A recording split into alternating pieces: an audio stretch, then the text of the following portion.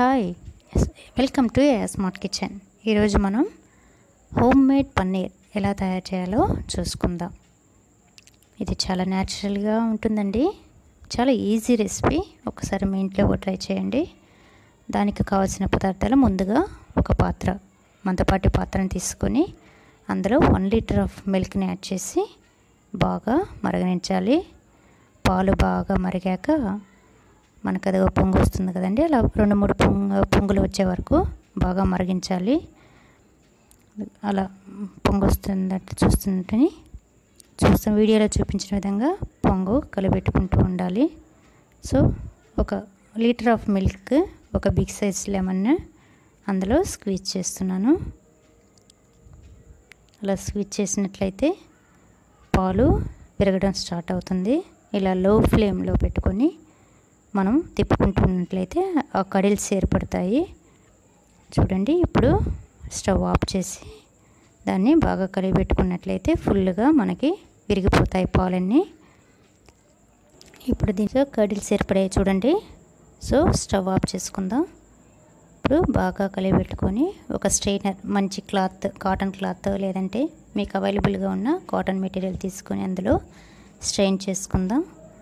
ఫుల్గా అలా స్ట్రెయిన్ చేసుకొని ఫోర్ కార్నర్స్లో ఫోల్డ్ చేసుకొని బాగా సో రిమైనింగ్ కడిల్స్ కూడా పెట్టుకున్నాను. ఆ పన్నీర్ మొత్తం విరిగిపోయిన పన్నీర్ పన్నీర్ మొత్తం స్ట్రెయిన్ చేశానండి. సో ఇప్పుడు నాలుగు మూలల్లో ట్రై చేసి బాగా స్క్వీజ్ చేయాలి. ఈ వాటర్ని మీరు వేరే అదర్ కర్రీస్కి కూడా యాడ్ చేసుకోవచ్చు. వద్దు అనుకుంటే డిస్కార్డ్ చేసుకోవచ్చు నో ప్రాబ్లం ఇలా చాలా వేడిగా ఉండటం వల్ల వేడ స్పూన్ యాడ్ చేశానండి నేను. గరిటతో స్క్విచ్ చేస్తున్నాను. అలా బాగా స్క్విచ్ చేసి వాటర్ ఫుల్గా డ్రై అయ్యేటట్టు చూద్దాం. చూడండి ఇలా ముద్దగా తయారవుతుందండి పన్నీర్. చూడండి ఇంక వాటర్ ఏం లేవు. ఆల్మోస్ట్ ఆల్ వాటర్ ఫుల్గా డ్రైన్ అయిపోయాయి. సో ఇప్పుడు నిమ్మకాయ యాడ్ చేసాం కాబట్టి ప్లెయిన్ వాటర్ తీసుకొని కొంచెం లెమన్ ఫ్లేవర్ పోయే వరకు వాష్ చేసుకుందాం. చూడండి బాగా స్క్వీజ్ చేసేసాను. అలా స్క్వీజ్ చేసి సమపాలుగా ఒక ఉండలాగా పెట్టుకుందాం. సో ఇలా ఉండలాగా పెట్టుకొని దీనికి మనం ఒక మందపాటి ప్లేట్ను లేదంటే గట్టి బరువును పెట్టుకోవాలండి.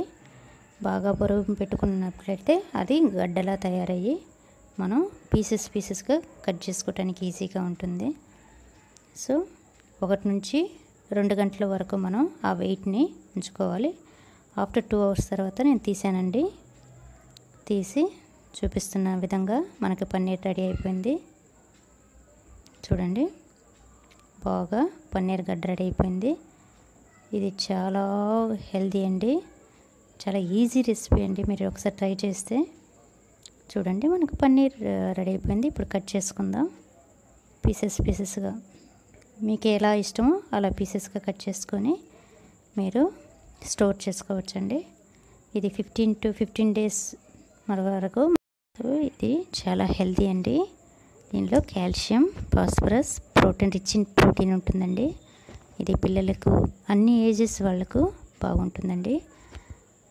బోన్ ప్రాబ్లమ్స్ ఎటువంటి ప్రాబ్లమ్స్ లేకుండా హెల్తీగా ఉంటుంది. ఇలా బేస్డ్ అపాన్ మీ ఒపీనియన్ ప్రకారం ఇలా పీసెస్ కట్ చేసుకొని స్టోర్ చేసుకుందాం. సో ఒక్కసారిగా పన్నీర్ రెడీ అయిపోయిందండి. ఇలా పీసెస్గా కట్ చేసుకొని స్టోర్ చేసుకోవటమే. నచ్చితే లైక్ చేయండి షేర్ చేయండి సబ్స్క్రైబ్ చేయండి. Thank you